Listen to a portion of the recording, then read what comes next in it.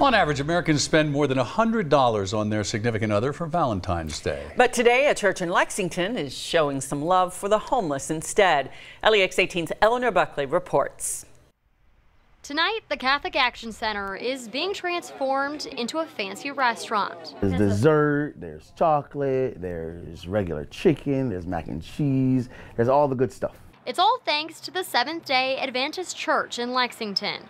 Pastor Winston Taylor says those who have nothing deserve to be treated special on Valentine's Day.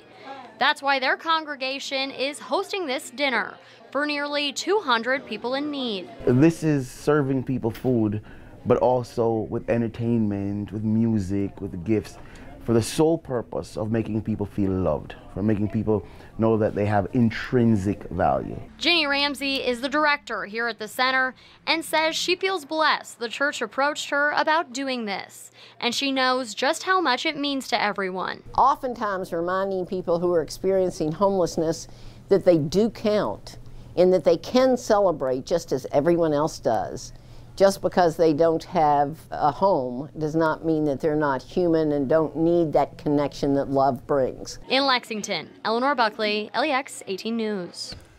Bill's up next with your Storm Tracker forecast.